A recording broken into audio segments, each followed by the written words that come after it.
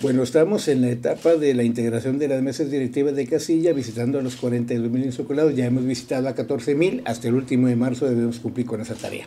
Por otro lado, acabamos de entregarle a los partidos políticos y a los consejeros el listado con la propuesta de ubicación de las casillas electorales. La proyección que hicimos fue de 608 casillas para instalar el 7 de junio, pero hay que esperar también a que se entregue la última credencial el primero de marzo. ¿sí?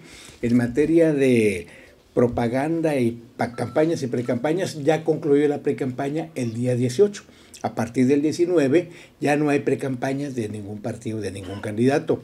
Únicamente entramos a la etapa de intercampaña desde el 19 de febrero hasta el 3 o 4 de abril, en donde la publicidad institucional en medios va a ser el 50% del tiempo para autoridades electorales, INE, FEPADE, Tribunal, YETAM, y el otro 50% dividido entre los 10 partidos políticos nacionales en publicidad de carácter genérico, es decir, lo que ya no se puede realizar o llevar a cabo es la publicidad de los candidatos o precandidatos o aspirantes a algún cargo de elección popular, ni de la candidata independiente tampoco, que está todavía en el proceso de apoyo ciudadano, porque entramos a la intercampaña.